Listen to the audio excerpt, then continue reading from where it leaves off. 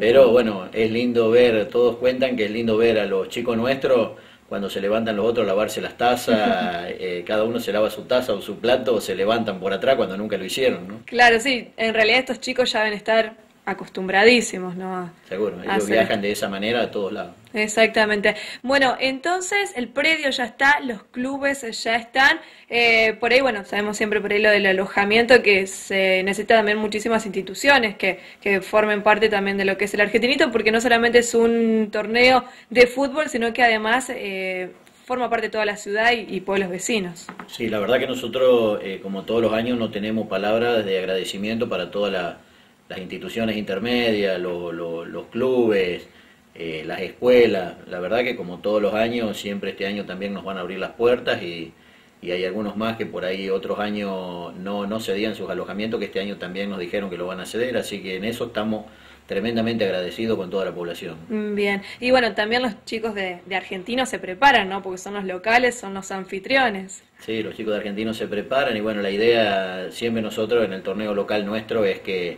no se arme por categoría un equipo competitivo, por ahí hay algunos que lo entienden, algunos no, pero nosotros queremos que los chicos nuestros jueguen todos en nuestro torneo, entonces siempre se trata de hacer por categoría dos equipos y, hacerlo dos equipos parejos. Por supuesto, ¿cuántas categorías, eh, en cuántas categorías se participa el torneo? ¿Cuántas son? Son seis categorías, este año la más grande son 2002 y los más chiquititos son 2007.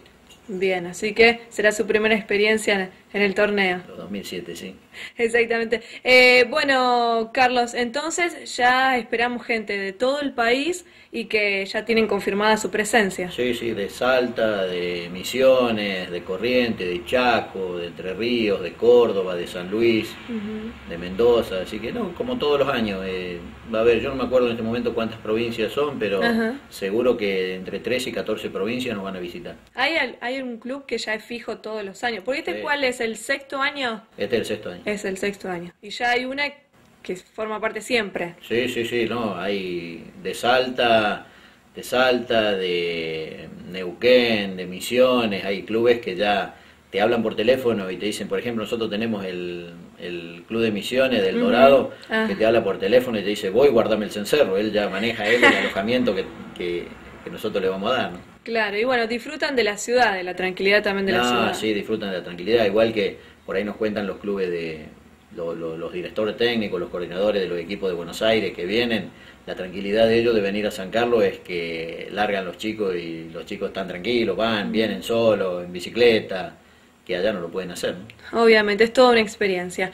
Eh, bueno, Carlos, estaremos eh, en contacto, mm, seguramente cuando transcurran los meses y quede muy poquito para, para, para el torneo, pero bueno, la tranquilidad de que está todo encaminado, que está todo en marcha, que los clubes vuelven a confiar nuevamente en, eh, en este evento. No, sí, está todo encaminado, lo que es la parte de gastronomía, las cantinas, el comedor, uno ya lo tiene todo organizado, año tras año siempre trata de mejorar de mejorar lo que se hizo el año pasado y, no innovar tanto, ¿no?